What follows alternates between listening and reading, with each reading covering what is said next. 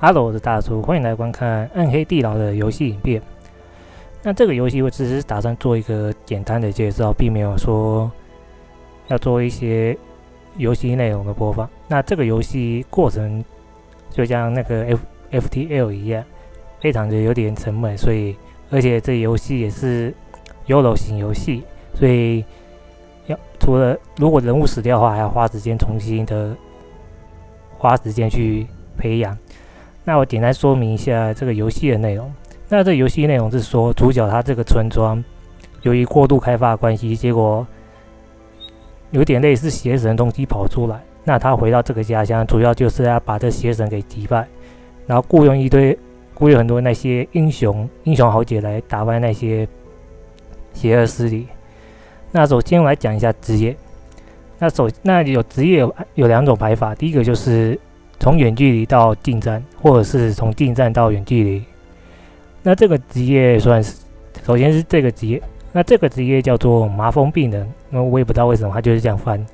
那麻风病人他是因为得了麻风病，所以才会叫麻风病人。那他属于是近战为主。那再是这一位，这一位是十字军。那十字军有除了攻击以外，还有一些类似补血的功能。那再是类似流那个。流氓的那个算是流氓的，那也可以称他为野人。那野人的大部分都是攻击的技能比较多，然后他有一些有那个吸血技能，像这个我看一下，这个有类似放那个放血的技能，但是仅限于他在这这个第一个区的时候才会才有这个技能可以使用。好，那再是。那这个算是新的那个职业了，那但是它的那个英文翻译非常奇怪，所以我就暂时称它为那个重骑士好了。那因为它那因为它全身都穿了很多重盔甲，那所以我就才会称它为重骑士。那重骑士大部分都是近战居多，然后也有一些类似那个增加 buff 的能力。那这位是赏金猎赏金猎人。那赏金猎人他赏金猎人他的位置定义有近战或远程。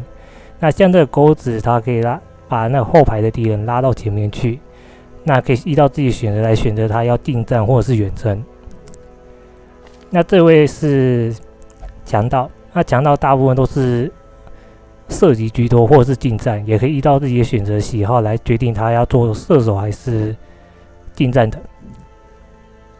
那这位叫做神秘学者，那英文就是这样翻译，为那中文也是这样翻的。那神秘学者大部分都是远距离，然后专打后面的后排为主。那他的技能可以，那虽然有一些技能，但是近战技能，但是可以照自己的喜好来做一些编排。那修女不用说，她除了近战以外，她有一些类似治愈的功能。那她她的角色定义就是在那个捕尸的定位。那这个是非常好用的那个职业。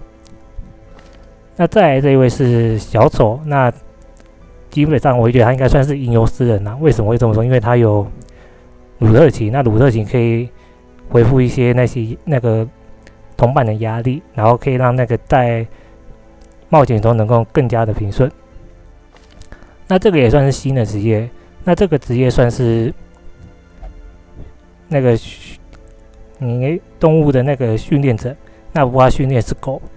那这一版本的，那这个版本的这个英雄，他的攻击大部分都是后排、前排都行。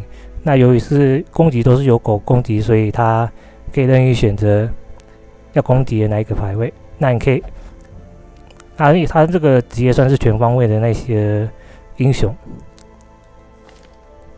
那再是瘟疫医生，那瘟疫医生专门也是攻击后排的。那他主要都会放一些晕眩啊，或者中毒的的那些技能。那当然，但但是他只能打后排，所以如果想要攻击前排的话，就只能选择近战这个。那也可以，他也可以做一些治愈的功能，但是这个治愈可以治愈的量并没有像捕尸那么多，但是多少会有用一点。那再来这一位是那个弓箭手，那弓箭手就是标准的远程射击类的，所以他的攻击大部分都是远程射击。那他这个类似盲射，虽然可以是虽然说可以到前排都可以射，但是他由于是盲射关系，所以有时候会射到第一个或是第二个。那再来是简单讲解一下，讲解一下那个能力。第一个是 HP，那这个是防御力，那这个是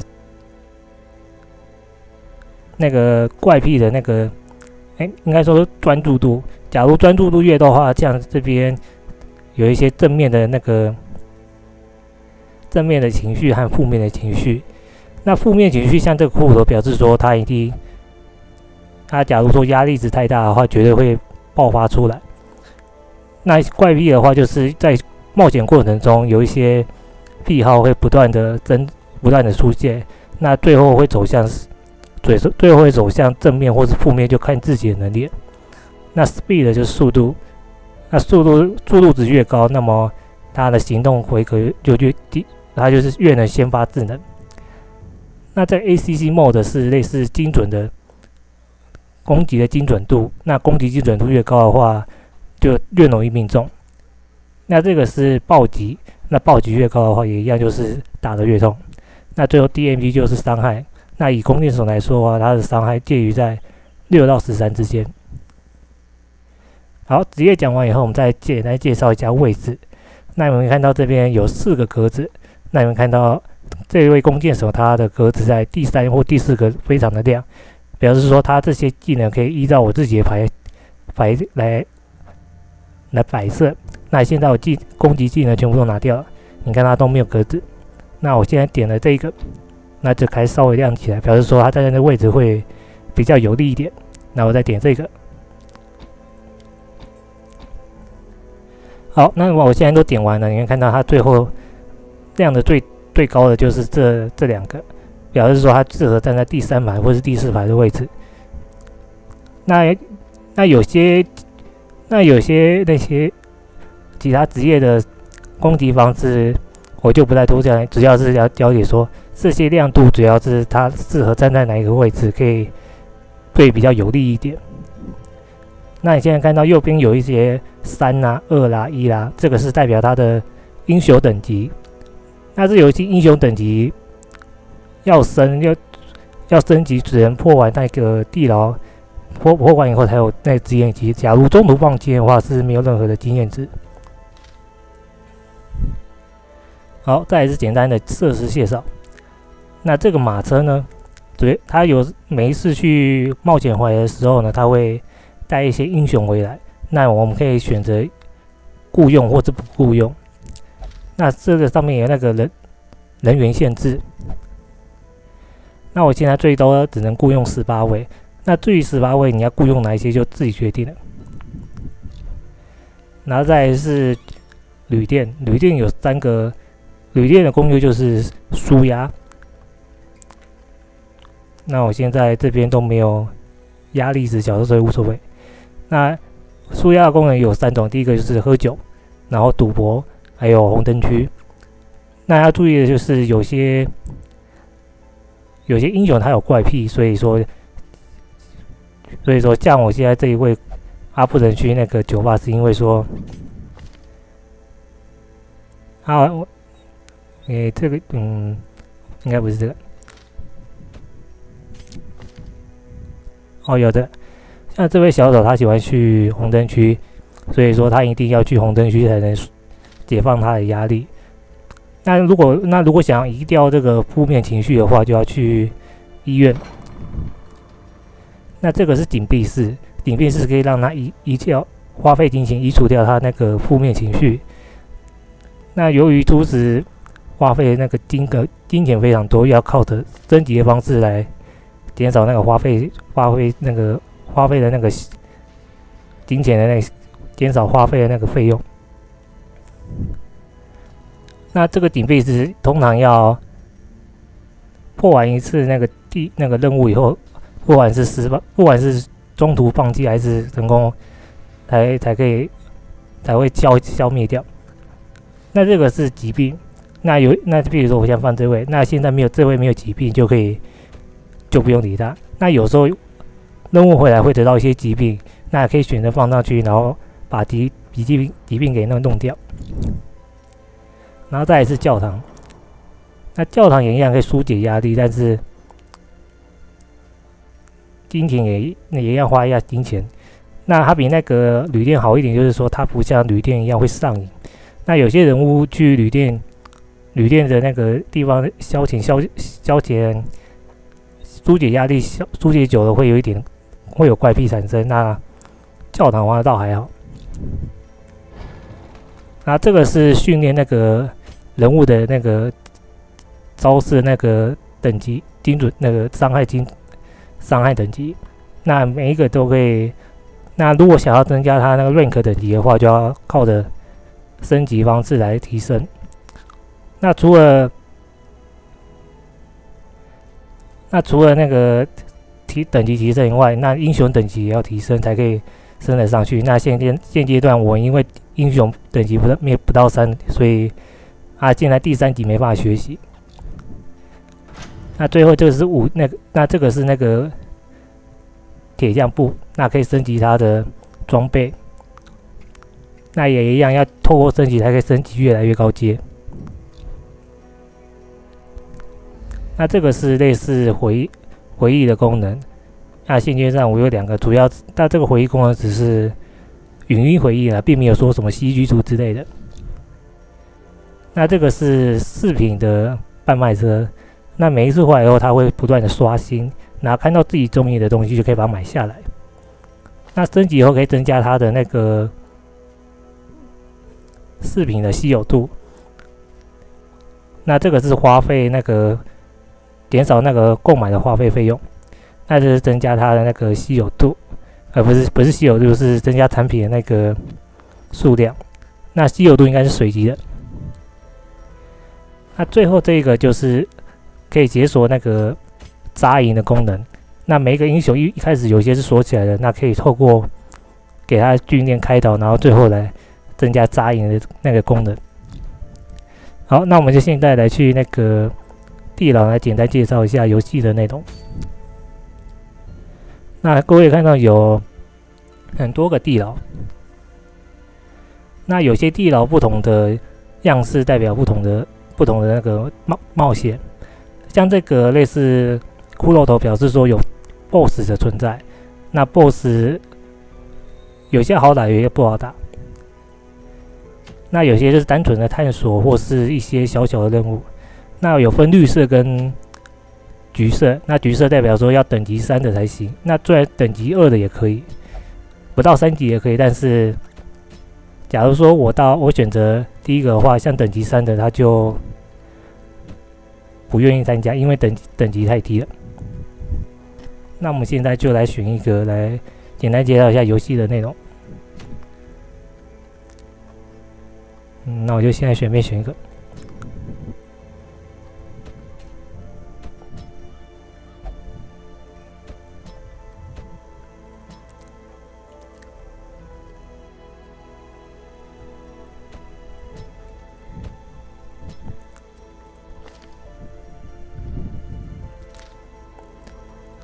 那这边有一些装备，那注意有些装备是有指定限制职业的。那下面的 common 代表是说是共用的，那可以选择自己要装或不装。那我们现在，那我们现在人都选好就开始游戏了。那那有一些地图是中中等或大型的，那中等的会有一个类似露营的那个睡袋。那那这个是食物产值，那个解毒剂，然后绷带，然后这个类似这个有点忘记是，不过它遇到有一些物品不敢确定的时候可以使用它。钥匙、开宝箱，然后这个是圣水，然后最后是火把。那游戏最重要算是食物，所以食物能买多一点就买多一点。那由于我左下角有修改过今年，所以基本上我几乎都可以全买。那我通常都是买一组。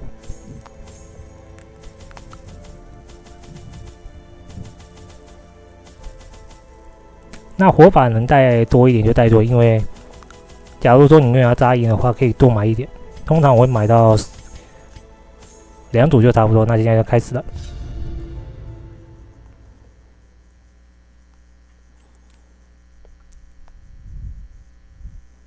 好，开始。那接下来这个是这个区域的地图。那我们今天要往这个房间去。好像这个有东西可以触碰，你可以选择碰或是不碰。那要碰的时候，他会问你要不要要要不要增放一些道具。那这个是看很多武器嘛，可以放绷带下去，避免说触碰下去，结果人物流血。那我们获得了六个食物跟两百七十五的金钱。那箱子有时候会有东西，有时候没有。那这个是升级升级要的那个必要道具，所以看你自己的选择要不要把它带走。好，开始战斗了。那这个惊叹表示说这个怪物受到惊吓。那我们现在开始来攻击了。那我们先，那这个，那我们先来用这个钩爪技能可以勾到后面的敌人，然后让让他移到前面去。我们来看一下。好，没错，还被拉到前面去了。那这个有连号的，代表是说它可以群体攻击。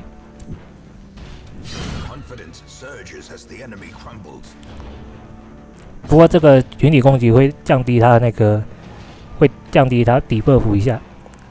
那我们这个吟游诗人嘛，由于我是放在后排，我们就来增加一些 buff 能力。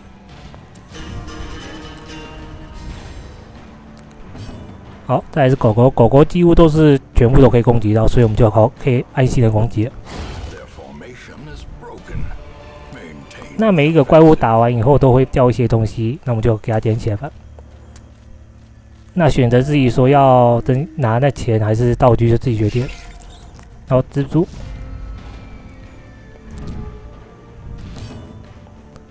那这个是撕咬，可以让全体增加那个变有那个流血状态。没错，流血了。那这个跳斩可以直接砍到最后一个单位，但是仅限于说他站在第一个位置。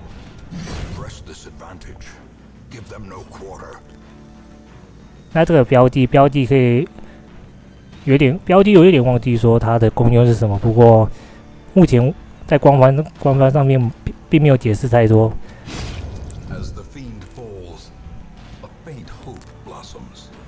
那这个是让人家那个对方降低能力的。攻击，但是他会往前三格，所以说他会跑到第一格去。那我们就先来增加自己的能力吧。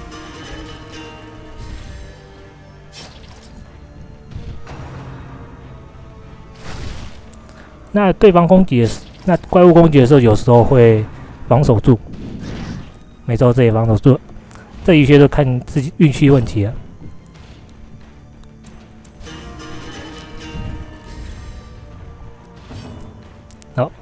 那我们现在就用撕咬的全体攻击。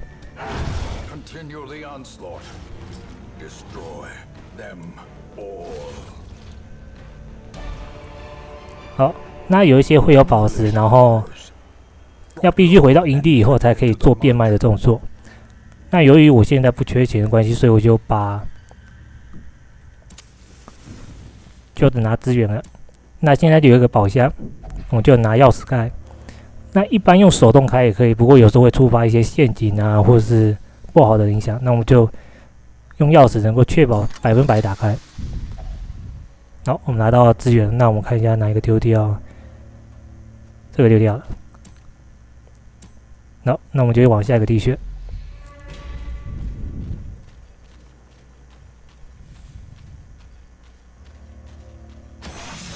那有时候走在路上会有陷阱，所以要小心一点。然后通常通常中的陷阱会有压力，那红色条表示是血，那这个黑色条表示说是有压力。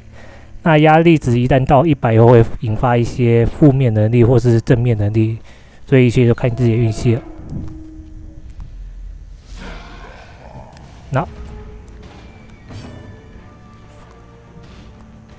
那我们现在是应用式的先动作，那注意一下，这个比较比较大、比较胖一点那个。算是强盗者吧，他一次就占两个，所以说，所以说有一些攻击只能到第二个，我只有只能攻击他。那我们先来增加自己能力。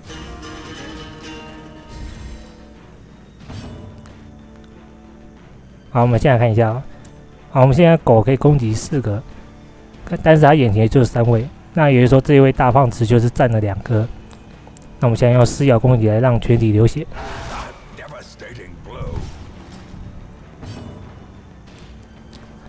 那后面抢走他会起群体攻击，通常会优先第一把解决。我会把他拉出来，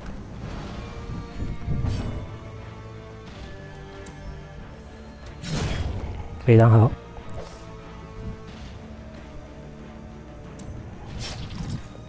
哦，这把赶快解决，要不然他会变成那个。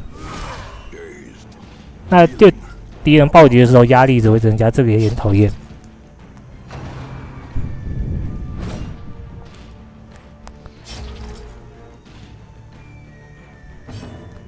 那我们现在先把把这个尸体给解决掉。假如刚才尸体没有解决的话，它会变成死灵状态，然后又复活一次。然后，那我们先来群体攻击，因为我要先把后面这一位解决掉。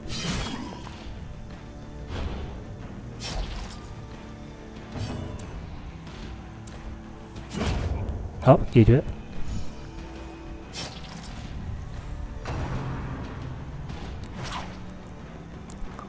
那由于今天才改改本改版的关系，所以说现在多一个非常麻烦要解决的事情。我们用这一招来把它解决掉。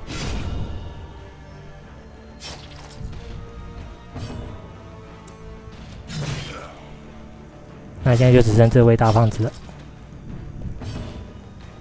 那我们来弹琴来减舒缓一下压力。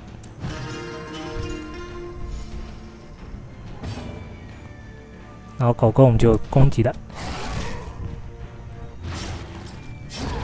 哦，非常好。哦，资源不错哦。那假如说东西太满的话，可以选择点人，然后使用绷带。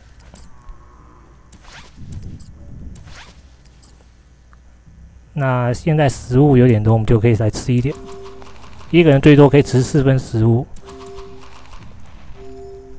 好，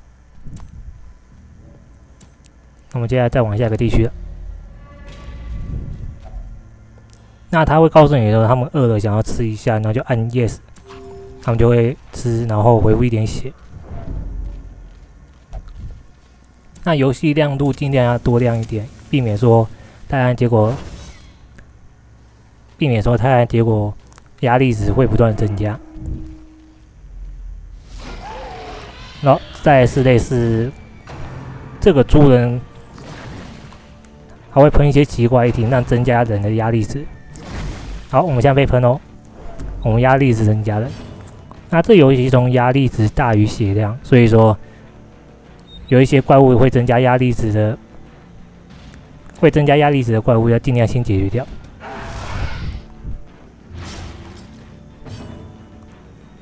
那我们先来解决这个小猪的。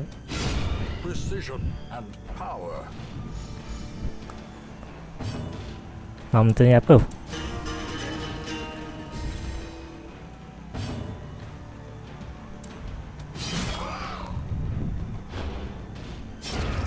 好，第二只是，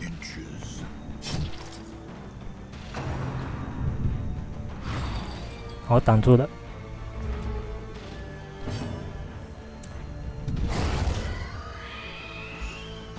那这团肉呢？它会变成，假如不管出于以前是一团肉啦，那现在可能会变成死人军团出现，这有点蛮麻烦。然后我们来结结束它。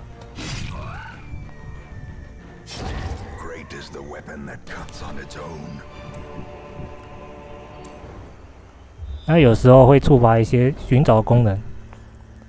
那像这个是，比如说这个地方会有战斗，那这个是代表有东西可以触摸。那么地牢的探险，我们就在那边告一段，那么选择按离开了。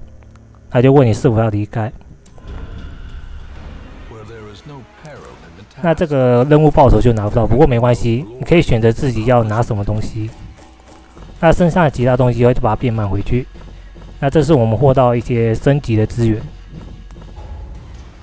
那由于没有破关，所以不会增加任何经验值。那现在这个类似绿色的东西表示有疾病，要去要去那个医院把它解除掉。那目前来说应该是没有周数限制，所以爱玩多久就玩多久。那右边这边是一些任务表，那有有成功了，它就会勾起来；没没勾表示说没成功。那么暗黑地牢游戏介绍影片这边告给段落呢。那这个游戏，我我以我用一句话来做一个总结：运气好的时候，如同天堂中的天堂；那运气烂的时候，比地狱还要更地狱。那这游戏运气就占的快要，这游戏如这游戏运气的成分非常重。运气好，它足以的光运气就应该占了七八成左右的胜负。那现在剩下的就是靠自己的分配啦，还有。还有自己的那个决定能力了。那么，《暗黑地牢》游戏的游游戏介绍影片这边告一个段落，我们就下次再见。